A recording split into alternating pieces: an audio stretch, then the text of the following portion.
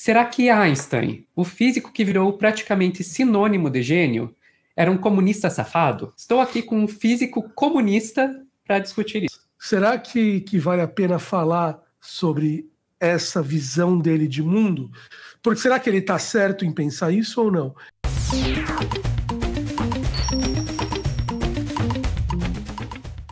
Vamos lá. Einstein, um comunista safado. De onde veio essa ideia? Veio desse texto aqui, Por que Socialismo, de Albert Einstein, em maio de 1949, que eu fui conhecer esse texto justamente justo uh, uh, graças a essa pessoa que está aqui do meu lado, Caio Gomes, no, num vídeo que ele fez lá junto com o Gustavo Gaiofato, né, do canal História Cabeluda.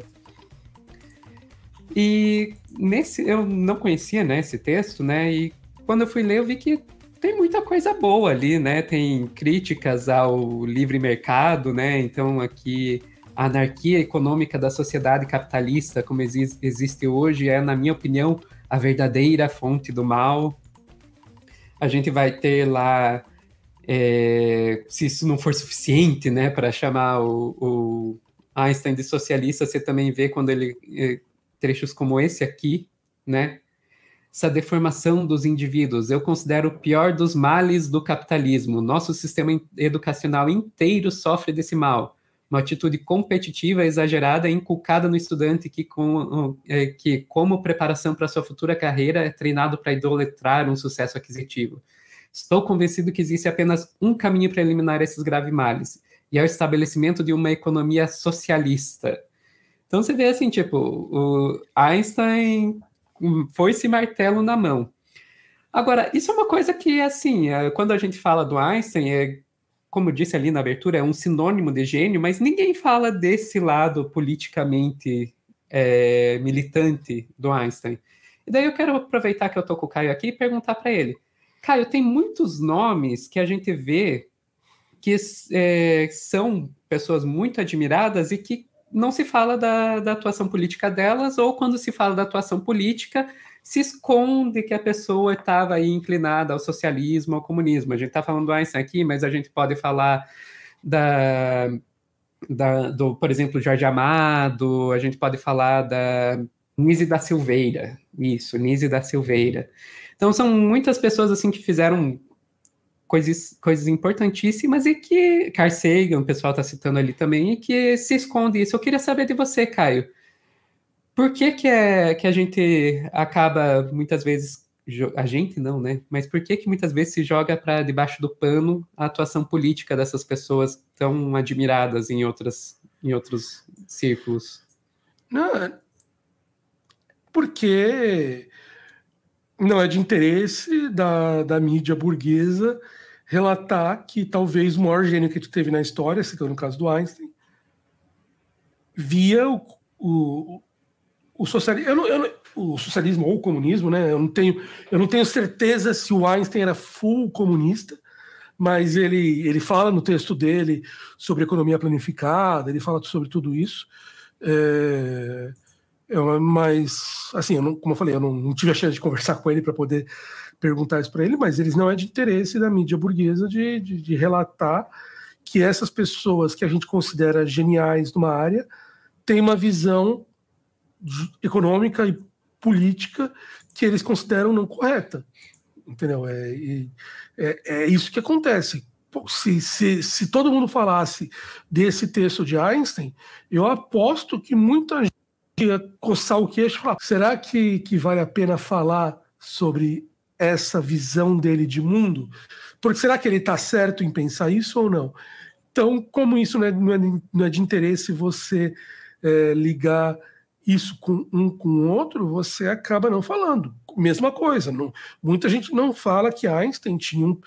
Einstein, no final da vida, ele se recusava a palestrar em outras universidades, a não ser que fossem em universidades negras nos Estados Unidos, aonde ele ia palestrar para grupos de, de, de, pretos. E então é, isso é muito pouco falado. Essa eu não conhecia. É, Einstein, você tem diversas fotos de Einstein no final da vida palestrando em universidades pretas. É, nos Estados Unidos aquela, existe até hoje aquela divisão de universidades que são tradicionalmente pretas, né? Que são universidades uhum. que, que, que, viviam em comunidades pretas. E Einstein só ia falar nesse tipo de universidade, dar palestra nesse tipo de universidade. Ele aceitava, ele ia de graça falar nesse tipo de coisa. É, então, é, não se diz. É, você falou do, do, do, do do, do, Jorge Amado, que, que foi deputado pelo PCB, de passagem. Uhum. É, o talvez o maior físico brasileiro, Mário Chamber, que, que, que, que, que foi um, um físico brasileiro nível Nobel, assim, o cara não, não sei, não se sabe até hoje porque ele não ganhou o Nobel, mas ele fez coisas inacreditáveis, é um dos maiores físicos do século XX, também era comunista e foi perseguido pelo regime, pelo nosso regime, pelo regime militar, tudo isso.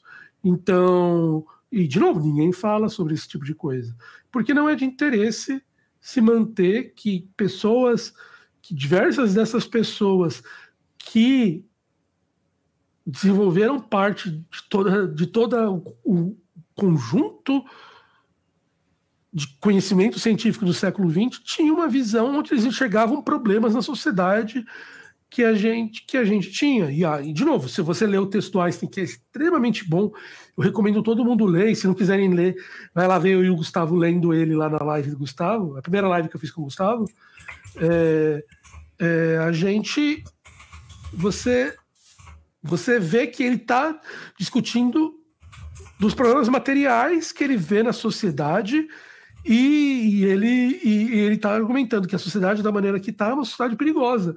E ele comenta de vários pontos que a gente acaba caindo na, no, no, golpe de numa sociedade mais voltada a mercado, que são atuais até hoje. Então, assim, é, para mim é tudo.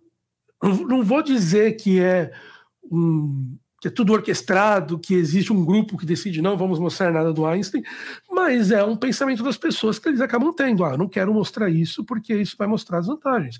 Do, do que vai mostrar que um, que um, que um gênio pensava dessa maneira, da mesma maneira que eles não querem mostrar que diversas conquistas é, sociais que a gente tem foram conseguidas por grupos comunistas. Eu acho que essa é a grande é, é, é, é o fato, é um mais um esconder parcial para poder falar, falar para poder é, para poder proteger essa, essa verdade das pessoas ao redor. Este vídeo é um despatrocínio Casas Bahia. Além do mascote infantil, a empresa conta com um largo histórico de intimidade com a infância no Brasil.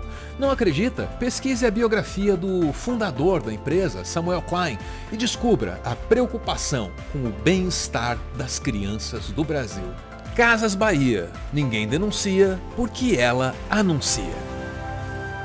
O produtor de conteúdo adverte. A referida empresa obviamente não patrocina esse vídeo e por responsabilidade jurídica somos obrigados a explicar a piada, estragando toda a graça que a mesma eventualmente pudesse ter. Pela sua compreensão, o nosso muito obrigado.